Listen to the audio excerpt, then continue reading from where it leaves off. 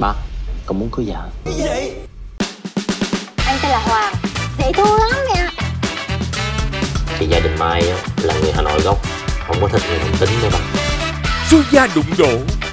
Bố anh ấy thì là đạo diễn sân khấu Còn mẹ ờ, Mẹ anh ấy Chạy trời sao nắng Này Không có yêu đương cưới xin gì cái tuổi này nghe chưa? Tôi có bầu rồi. Hả? Yêu đương gì tầm này Cô dâu tương lai của tôi đây là Phụng